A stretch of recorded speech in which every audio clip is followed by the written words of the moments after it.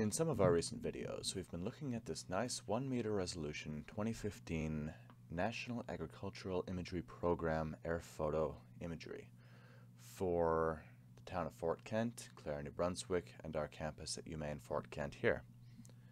Now I'm accessing this data through a server, which means I don't have this stored on my desktop, which is handy because if we zoom to the full layer, we can see that we have the entire United States and if we change the projection, we can see that we have the entire continental United States imagery. We can zoom in anywhere we want to see and it will load in this imagery.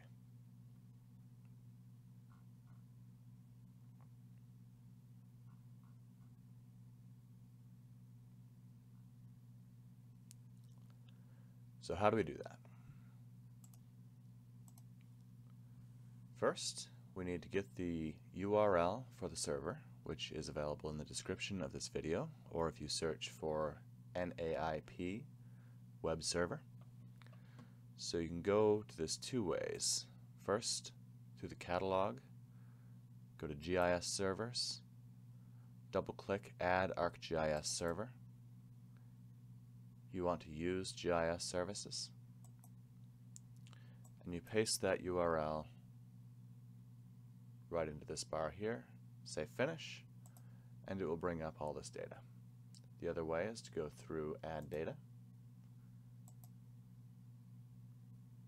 look in GIS servers, and you have the same process again. So again, this allows you to access data from the USDA for any location you choose without having any of that data saved on your desktop.